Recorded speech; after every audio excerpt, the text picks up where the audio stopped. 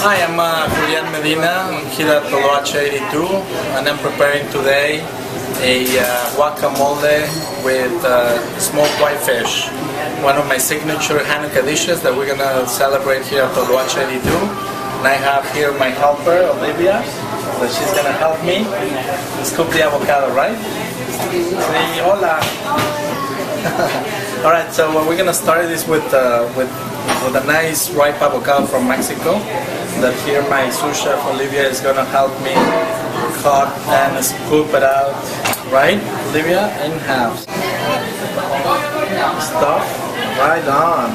That's good. Just don't mess up your dress or your mom is gonna be upset. All right, so we're gonna continue here in my molcajete. So.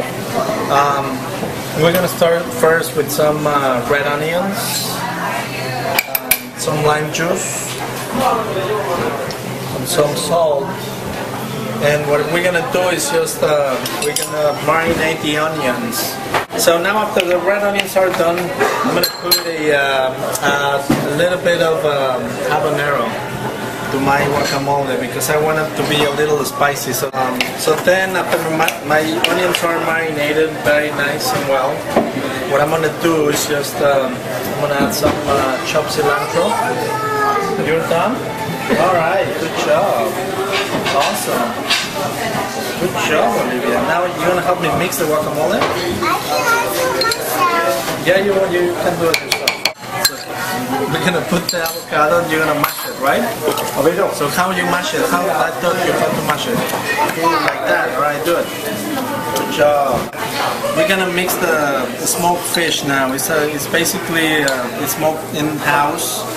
Um, so what we do is just we put uh, some chives, red onion, and some chipotle into my mixing. Now I'm gonna mix it. I'll, you, we'll mix it together. How is that? All right. So we're just gonna incorporate it and mix it together, and uh, we're gonna taste it to see if it's good with uh, with salt. You wanna taste some? It needs more salt. A little bit more salt, right? Here, put it. Put it there.